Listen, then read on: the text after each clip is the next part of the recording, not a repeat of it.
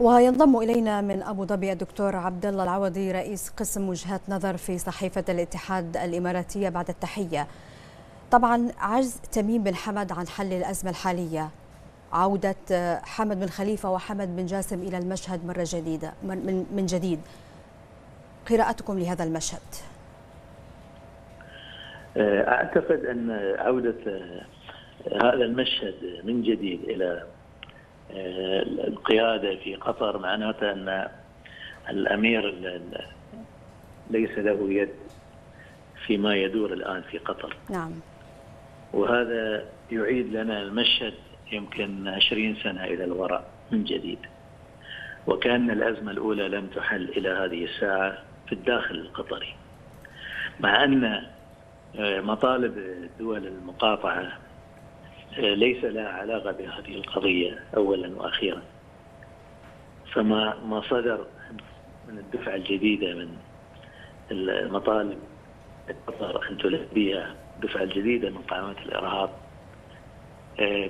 دليل قاطع بأن دول المقاطعة والعالم من وراء هذه الدول لديها مطلب معين ومحدد وهو نبذ الإرهاب اولا وأخيرا. أصبح الإرهاب القطري عابر للدول والقارات. نعم. يعني لم تعد يعني لم تعد القضية محلية بحتة يعني يلقى عليها شماعة الوصاية والسيادة. إذا دكتور إذا دكتور عبد الله ما هي تبعات هذه العودة؟ عودة حمد بن خليفة وحمد بن جاسم إلى هذا المشهد، ما هي التبعات؟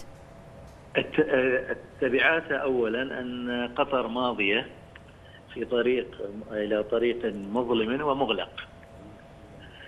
لأن هذا واضح الآن يعني المشهد جدا واضح. نعم.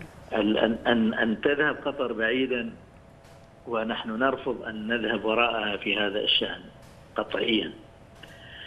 ويعني كما يقول يعني أهل العقل والحكمة إذا كانت قطر تريد أن تخط هذا أن أن تذهب يعني أن أن يحاصرها الإرهاب ذاتها فهذا شأنها ولكن الآخرين لا يسمحوا بهذا الإرهاب أن يحاصر الدول الوطنية وسيادتها نعم.